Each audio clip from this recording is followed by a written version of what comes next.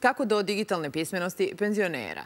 Čega se plaši treće doba i kako da naši najstariji savladaju veštine koji ih mogu zameniti, koji mogu zameniti čekanje u redovima. Kako naučiti penzionere da koriste društvene mreže, da komuniciraju sa svojim najbližima preko interneta, da otvore nalog na portalu e-uprave? Da li je rešenje u državnom projektu tehnološko ćoše u kojem mladi obučavaju starije sugrađane od marta, bit će u celoj Srbiji. O tome pričamo sa mojim gostima, Urošem Rankovićem iz Beogradskog centra za ljudska prava, menadžer u kulturi i medijima, Milošem Rankovićem, Grabunđijom iz Sindikata penzionera Nezavisnost i Nadeždom Satarić iz nevladine organizacije Amiti. Pozivamo i vas da se uključite u program i kažete šta mislite na ovu temu. Dobar dan i hvala vam što ste ovde. E, kakva je situacija kada je reč o digitalnoj pismenosti penzionera u Srbiji?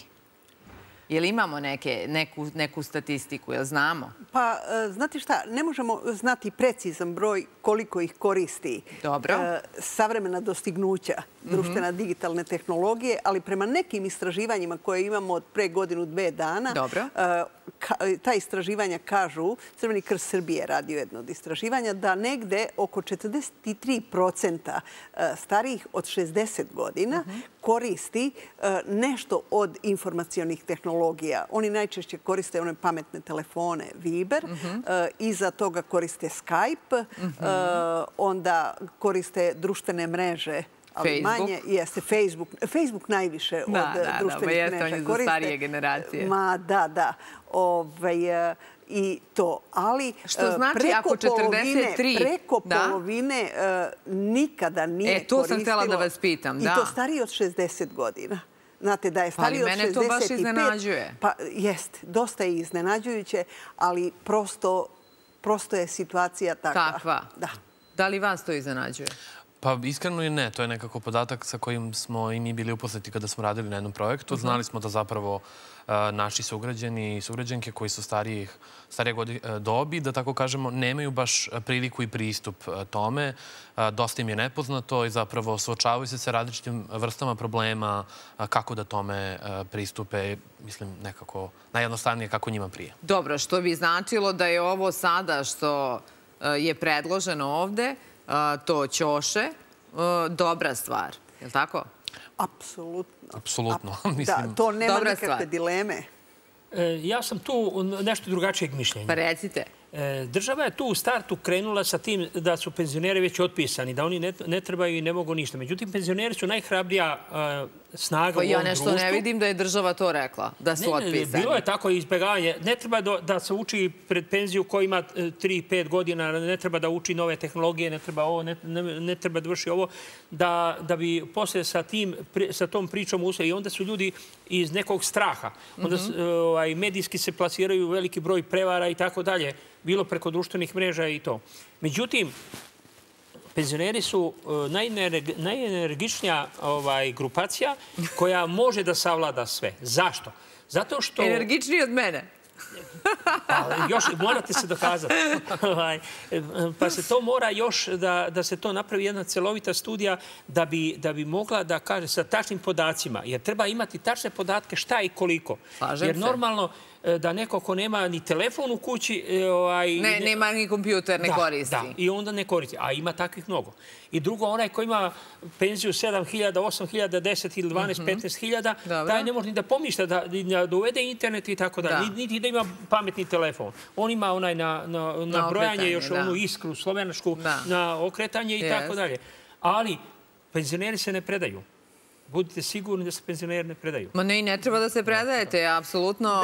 Ja smatram da treba da se e, svi digitalno pismene, zato što ćemo lakšati život. Praktično je gospodin e, rekao neke od stvari zašto neki u većoj meri ne koriste. Jedan od razloga je e, prvo strah od novotarija. Mhm. Pogrešit ću, neću znati, neko će me prevariti. Vidite koliko je prevara. I što se i dešava. I mlađe varaju, a kamo li starije. To je jedan samo od razloga. Drugi razlog nije dostupno svima finansijski. E, ne treba imati, ne treba zaboraviti e, činjenicu da skoro pola miliona penzionera ima penzije niže od najniže penzije ispod 20.000 dinara njima mhm. praktično 1500 dinara za internet mesečno. Dakle, nije im finansijski... Nije im opcija uopšte. 360.000 ima ispod 15.000. Ispod 15.000, o tome tek i da ne pričamo. A da ne pričamo još oko 170.000 oni koji nemaju nikako. To je tek posebna priča. Dakle, kada svet, a drugo, postoje i određene vrste invaliditeta kod najstarijih koji ih onemogućavaju da koriste jer nisu prilagođena sva ova e, i nemamo posebno prilagođene za te osobe da mogu koristiti. Tako da nama nije e, to iznenađenje. E, potpuno se slažem sa ovim da nije tačno da stariji ne mogu da uče i da ne uče. I to kako i te kako su zainteresovani, posebno oni koji imaju malo više finansijskih mogućnosti i te kako su zainteresovani i trude se. Ali u tome dobri su i odlično. Ja pohvaljujem projekte koje država organizuje, koje organizuju i drugi e, organizacije civilnog društva kroz mhm. projekte da stariji ne plaćaju te obuke. To je dobro. Ali ko njima glavni treba da bude u obuci? Njihova deca i njihovi unuci. Za one koji žive sa njima. Da ih oni oslobode. A ono što mi treba da uradimo, mislim da to i danas treba da uradimo, da im pošaljemo poruke koje su sve blagodeti toga. Šta se sve dobija ako se ima kompjuter, e, počeo od onoga da mogu pisati neke svoje mhm. uspomene, memoare, da mhm. imaju to zapisano sve, da ne ode u zaborav. Počeo od onoga da se mogu dopisivati i da pisma danas ne putuju ni u Ameriku mesec dana, nego da istog momenta kada napiše pismo preko maila, ono će stići. Da ne pričamo oko toga da može plaćati, da može zakazivati. I to sam htjela, tako je. Imamo i zdravstvene i zakazivanje za izdavanje lične karte plus da budu na društvenim mrežama, da se informišu šta se to novo događa. E, znači, mnoštvo blagodeti koji im olakšavaju svakodnevni život. A ako ništa od toga ne koriste, oni su potpuno isključeni i potpuno... Marginalizovani, Kod plaćanja ima jedan specifikum tu. E, naši svi operateri i provajderi su pretvorili se u prevaranske institucije i hakeri već što to odrade. Da, ne možemo to tako da kažemo. I onda oni ovaj, njihovi skidaju, ulaze u datoteku računara. Ja imam lično iskustvo. Pre e, dve i pol godine neko mi je skinuo sa računa recimo 100.000 dinara. Legla penzija i u dozvoljeni minus i skinuo mi 100.000 dinara podnesem prija u CUP-u, sve to i tako dalje. Do danas nisam odgovor dobio ni to tužioca, ni od CUP-a. Ko vam je skinuo? Od banke sam hakeri, pojme ne, ovaj, i samo i inspektori su pa obavestio telefonom da su našli čovjeka sa čijim podacima su realizovani, a čovjek ne zna ni da uključite e, kompjuter, niti ima kompjuter i tako dalje. Znači, neko je koristio to i to je onda jedan, jedan, jedno veliko opterećenje za, za stare ljude da, da se od toga izbjegavaju. Pa boje se. Boje se. Koji su razlozi još? Pa, e, s obzirom da nisam starija osoba i da ne znam lično koji su razlozi, ovaj projekat koji smo mi realizovali, e, SOFA Solidarity First Aid, realizovan tokom perioda... Ja bih mislila da radite sa starim ljudima, pa znate. A to svakako. Nisam ni mislila na osnovu vašeg ličnog iskustva. Da, ali to iskustvo koje smo imali jeste da su oni bili vrlo zainteresovani da probaju nešto novo i, e, kao što je rečeno već, da dakle, dobiju priliku da na jedan pristupačan način u stvari se upoznaju sa tehnologijama koje nisu tako pametne možda za njih i mhm. jednostavne. Meni lično bilo zanimljivo, imao sam to iskustvo iz prve ruke, u stvari da u njihovim privatnim domovima, pošto nisu bili sa porodicom ili nemaju neke članove ili mhm. žive sami samostalno, u stvari da ih obučim i taj period je zapravo trajao skoro mesec dana, gde sam ja odlazio i u stvari im pokazivo kako se koriste uređaj, na koji način se povezuju, kako da sigurno koristi internet. Mhm. Mi smo naravno uz to održavali različite radionice, međutim taj pristup koji je podrazumevao lični kontakt i uživo kontakt je dosta pomogao zapravo da se ta barijera straha razbije i nekako uh, smanji u tom smislu. Da, pa, pa meni se čini da je veća tema ono prvo što ste rekli, a to je taj finansijski moment. Mislim da ne postoji uh, negde možda otpor samo kao strah, je li tako?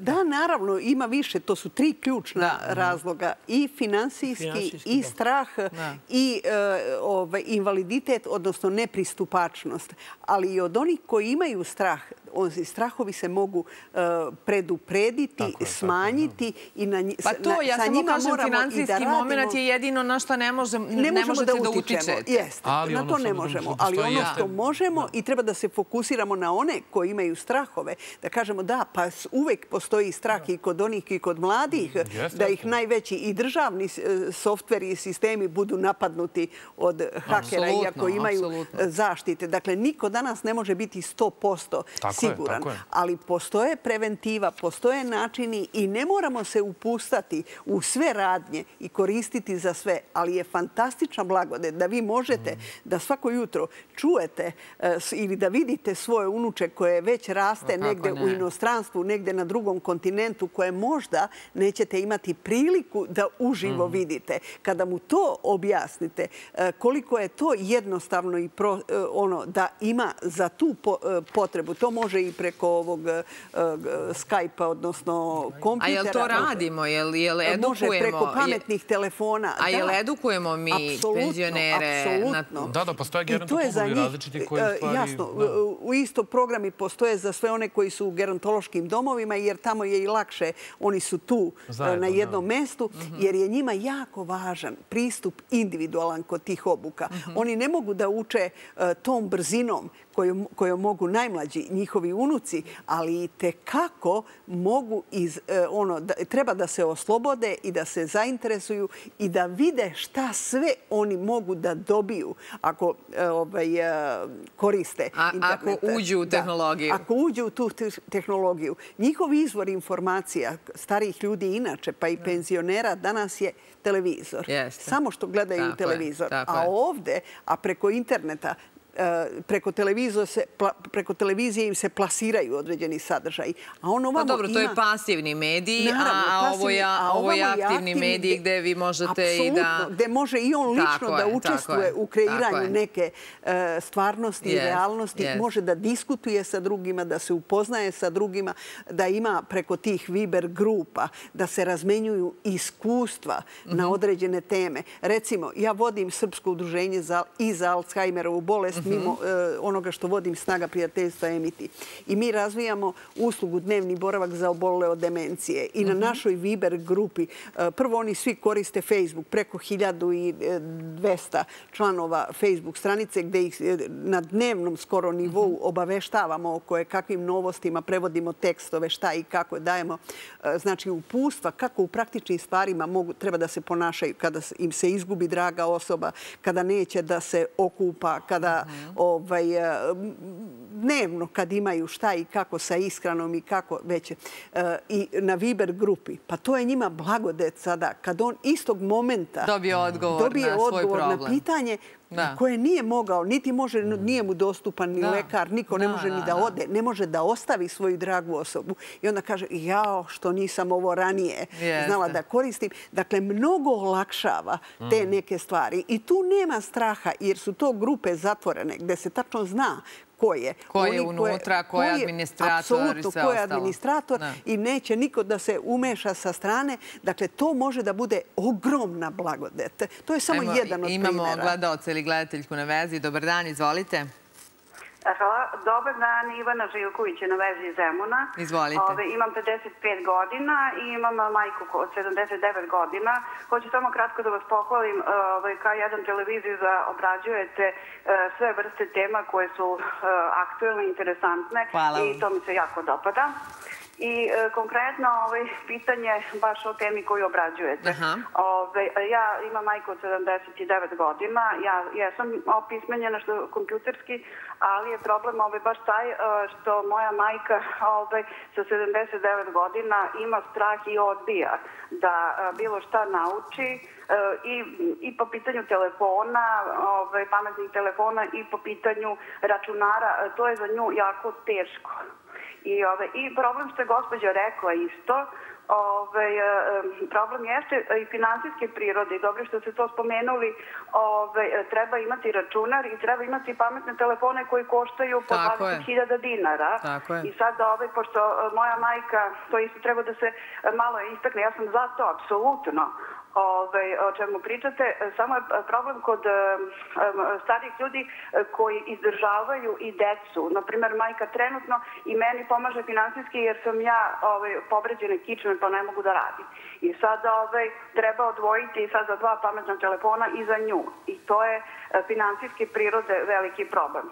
Sad, ja znam da to ne može ne može da se reši, ali verovatno postoji neki način opet. Ona ima malo ovaj demenciju, ma, blagu demenciju, da ne kažem ono, više su to problemi egzistencijalne prirode zbog čega ona je povređen kuk.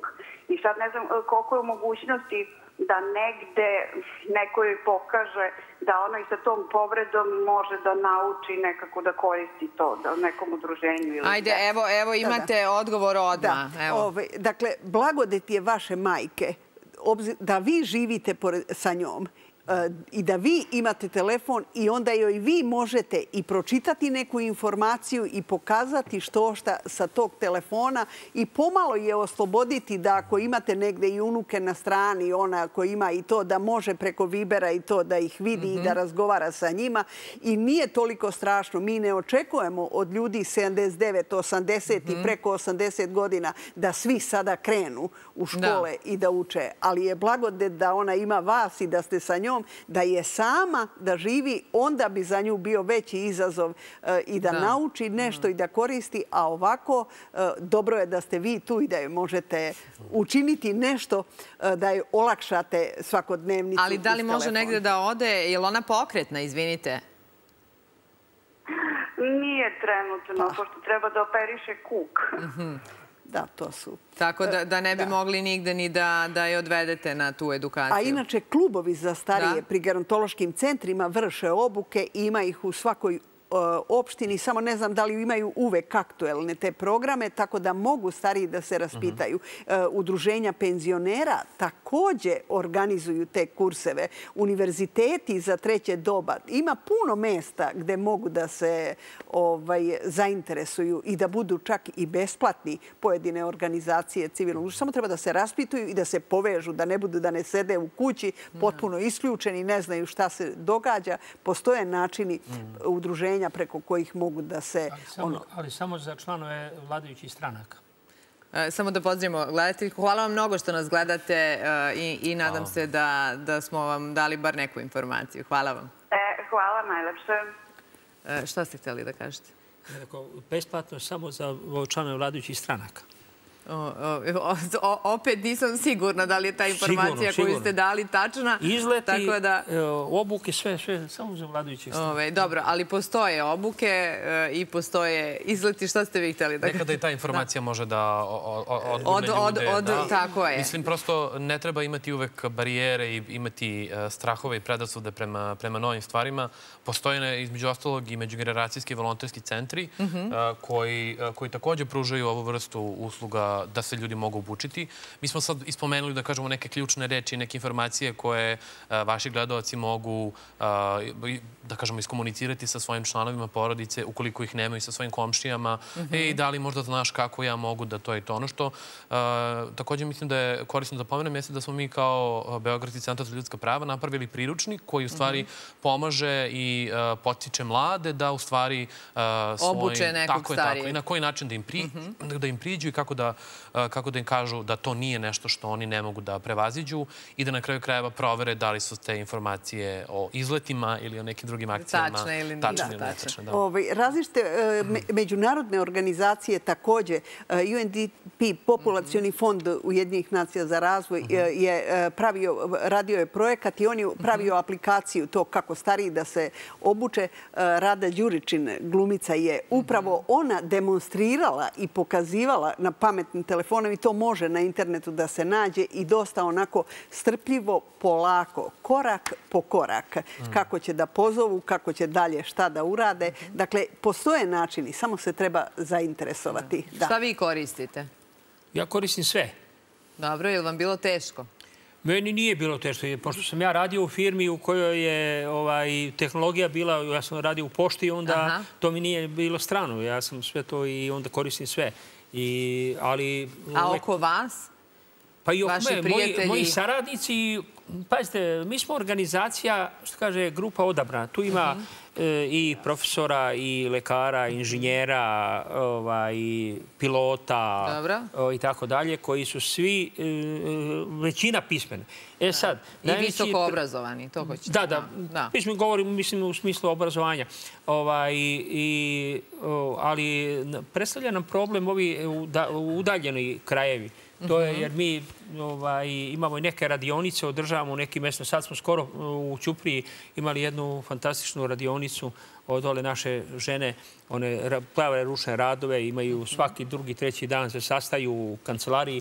Plaćamo zakup, jeste nismo dobili besplatno, plaćamo zakup ovaj, privatno i tako dalje. Ali one tu rade i tako da napredujemo.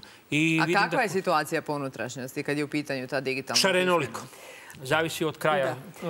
Ovaj, još jedan moment je odličan napomenu. E, obrazovanje prethodno koliko uči, koliko utiče na to. Naravno da vi možete očekivati, sad kod baby boom generacije možete u većoj meri, to su oni koji su rođeni posle drugog svetskog rata, koji su završili fakultete i sve, da oni se u većoj meri interesuju i uključuju i uče i obučavaju. Vi ne možete kod manje obrazovani, čak i od onih 43% koje smo pomenuli, najmanje je oni koji su e, nemaju ni osnovnu školu ili imaju samo osnovnu školu. Najmanje njih oni u najvećoj mjeri ne koriste. Ne trebamo zaboraviti činjenicu. Ali su oni isto i unutrašnjosti? Oni više, e, dakle, e, nepismenih, E, najviše imamo u grupaciji nepismenih, oni koji treba da budu pismeni od osnovne, od 15 godina i stariji. Najviše imamo starijih žena, upravo starijih od 80 godina. To su oni koje su rođene e, pre drugog svjetskog rata, kada školovanje, osnovno školovanje ženske dece nije bilo obavezno i ogroman broj njih nije išao. Pa vi ne možete stvarno danas očekivati od njih da one uče. Zato su ti brojevi veliki, ali će se situacija menjati. Danas dete najmanje unuci naši, oni nas prevaziđu u nekom pred 20 godina, pred 24-5 godine kad smo osnovali organizaciju ja 99. Prvo što je trebalo kompjuter i ajde sad na obuku da nisam znala. Ja sam radila sa napisaćoj mašini. Dobro, koliko ste tad imali godina? Pa naravno da sam imala manje, imala sam 48 godina, ali sam tad je za mene to bilo i ja sam se smatrala odlično da sam stekla velike veštine i znanja. E, već posle, e, sada, unuci moji, koji tada nisu ništa oni oko toga, oni su me toliko prevazišli u svemu tome. Ovaj, dakle, oni mnogo brže napreduju i mnogo brže uče. Ovaj, ali eh, znam i ohrabrujem starije. Iako se vaš kolega ne slaže sa vama, on misli da penzioneri najbrže uče. Ne, ne, ne. Ne, ne. Treba, treba više malo, ne, ne, treba malo više vremena, ali je važno da nije volja kod svih za učenjem novih stvari, da ne postoji i da ono, imamo mi takve koji je otišao u penziju i kaže, ma daj, pustite me, šta će mene to? E, mene imaju, postoje koleginice koje ja znam, moje, koje su e, isto visoko obrazovane, otišle su u penziju, sad imaju 70 ili 80 godina i sada zovu mene za banalan podatak, nemaju nigde, recimo, koliko je bilo stanovnika stariji od 65 godina na popisu 2011. ili druge. A ja onda njoj kažem i nađem za pet minuta podatak na Google, ne samo 2011. nego procenu 2021. Pa već sada. I kažem, ona kaže, pa otkud nado? Pa kažem, to je to što vam je internet danas dostupan. Sve za pet minuta može da se klikne i da se nađe. A kako je, je li vi imate, vaša organizacija, jeste organizovali nešto po unutrašnjosti? Da, u ovom projektu je učestvovalo zapravo, uh, mislim, učestvovali su ljudi iz uh, Sombora, Prijepolja, imali smo učesnice iz Novog Sada, Beograda. Mhm. Dakle, trudili smo se da zahvatimo, da kažemo, sve te veće centre delova naše države. Ono što je u stvari zanimljivo u cijeloj ovoj priči jeste da iako do informacija lako i brzo možemo da dođemo, lako i brzo upadnemo u teorije zavere i zablude oko toga kako internet zaluđuje ljude, kako ih, da kažemo, zaglupljuje i onda se u stvari izgube ljudi u toj lakoći da brzo nađu mhm. informaciju. Tako da smo u stvari mi kroz set radiona radionica sa našim e, sugrađanima i sugrađankama u stvari radili na tome da e, razbijamo predrasude i da u stvari pokažemo kako da do informacija lako dođu, a da te prve informacije koje pronađu nisu baš one koje su najtačnije. Mislim, vi kada odate na Google i ukucate nešto... Tako je, tako i to je jako bitno da se zna da dakle, proveriš informaciju. Odnosno, učimo ih da budu digitalno pismeni, učimo ih da budu i medijski pismeni. Tako je da, da u stvari te informacije koje dobijaju prouče na pravi način da selektuju, naravno. Ali šta može da bude još, evo ja o sebi razmišljam. Dakle, ja nisam učila engleski jezik, ruski džak, ono već ranije se učio ruski jezik. I nažalost nisam ga na vreme počela učiti ono dok sam još ovaj, računam da ću jednog dana ovaj, moći to više. Da, da, da. Ovaj, hvala. Ali kada mi trebaju prevodi, e, čak i čitavih tekstova i knjiga, imate na internetu isto. Upućaj prevod i neće taj prevod biti e, kao da je prevodila 100%, ali neko ko razume problematiku i zna šta čita, njemu će i tekako to koristiti. To je isto fantastičan benefit zašto mi možemo da, zašto nam sve koristi e, ta pismenost i zašto je važno da se osposobljavamo i da učimo. Koliko su uh, stariji ušli u recimo korišćenje bankomata? Je li to nešto što je isto e, što, što postoji strah od korišćenja bankomata? Jer, pretpostavljam, stari ljudi su išli u banku, podizali pare, vrlo jasno. Tamo je neki čovek koji da pare, ovde je sad to mašina. Je li to nešto što e, što se susrećete da je penzionerima tema? Tu nije, tu nije toliki strah. Zašto? Zato što se tu dobija keš lova. Da. I on, ako je imao 10.000, on digo 9.800, ostalo 200 dinara. I on zna da je to fond koji raspolaže. Da, da, Drugo, onaj koji ima 150.000 penziju, on kad podigne, njemu se i ne osjeti razumete. A ovi koji podigne, on je to miran i s tim raspoređuje i onda tako dalje. I tu nije toliki strah, zato što je to konkretna stvar. Bankomati, mada ovaj, boje se ljudi da ne ostane kartica. Pa jer banke, morate jednu stvar da znate, jer banke subotom popodne ne radi niko. Upravo ni jedna banka. Čak subotom ni jedna znači, banka ne radi osim poštanske štedionice. do ponedeljka ne možete ništa. Ove druge banke ne radi subotom. I onda ljudi se ako mu kartica upadne recimo u petak na večer. Tako je. Nikog do ponedeljka ne može da mu to pitanje reši. To je, mislim, da tu taj strah. Ali dobro, to je sad njihov rizik. Izgubit će klijentu. Neće klijente imati šta, tako dalje. Ali tu nema nekih problema zato što radi se o živoj lovi. E sad, pitanje elektronskog plaćanja. E, to je isto. To će biti poseban problem. Zašto je to poseban problem? Zato što e, to je e, osmišljeno sa tim da neko iznad nas, da on lakše manipuliše sa našim lovom. To je prosto rečeno prevedeno na srpski. To, nećemo imati od toga koristi. Pazite, vi jednu transakciju da, da banku kada plaćate sa računa, e, sa, govorim za Ali ja mislim da ljudi oko vas niko ne koristi ništa od ovoga zato što im vi sve objašnjavate da to ne treba da koristi. Ne, a ja govorim ono što jeste. Pa znam kako ono što jeste. Evo ja koristim online bankarstvo i to nije to. Dobro, pokazat će vreme. Dobro. Ja koristim, ali redko dižem na bankomatu. To je istina. Ja više volim u poštu zato što sam tamo radio. Popunim nalog i podignem. Ali, kada se radi o ovim stvarima, da treba nešto elektronski uraditi, vi imate cenu koja e, do skora je bila e, malte ne besplatna za elektronsko mhm. plaćanje. Sad se odjednom ta cena digla Čim je narod počeo da širi mežu, e, cena se odmah diže. Znači, to je neko osmislio da bi imao jedan biznis, i to veliki biznis, i onda to, da to, kao što su sada veliki marketi osmislili da vi plaćate kese za kad kupite robu, kod nje ostavite hiljade dinara i, i više nekoliko hiljada dinara i on naplati 12, 13, 14 dinara kesu. A ne mislite da je to krenulo zbog zapravo velike potrebe plastike? Tako je. Nije to zbog plastike. Iste kese te koje su bile tamo besplatne, sada su 14 dinara. Pa jeste, ali se manje koriste, zato što se naplaćaju. Nije. Ljudi idu sad nose kese, nose cegere, ono što su nekad naše majke nose i tako i to je e, praktičnije. Ja sam ubeđen da, da je to praktičnije. Ali to je samo, vidite, način manipulacije sa narodom.